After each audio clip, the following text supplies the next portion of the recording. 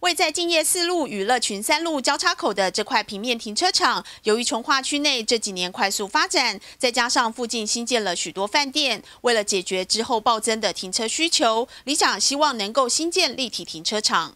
今年哈，呃，国际饭店有两家要开了，那以他们国际饭店的标准哈，大概如果是以他们的停车位只有。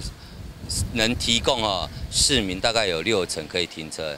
那如果来这边还有四成的停车，外来的人口怎么办？点华它是六百桌，那六千人，他有六百个人开车来就好了。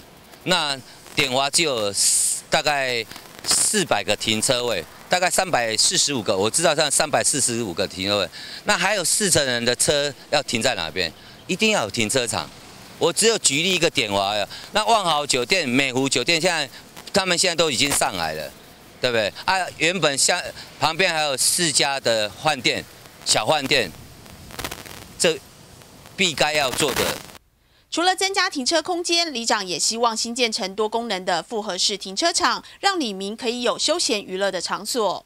不止只有做停车场使用而已，还有多功能，像我们的图书馆啊，啊，大直从化区这边的图书馆啊啊，还有一些所谓老人的福利福利的阅读中心啊啊，那也可以设啊，像内湖那边也有麻将啊，给老人打打麻将啊啊，娱乐性的啊，多功能的停车场是我们在九十八年我就跟市政府一直提这个案子。在与市长座谈会中提出，市长也表示，既然是停车场用地，该建的就要赶快新建。市长只讲跟官员讲一句话，该建就要建，对不对？这边拖也不是办法，对，不然这个公家地，从化区现在从化区的公家地只有剩下停车停车场还没有盖而已。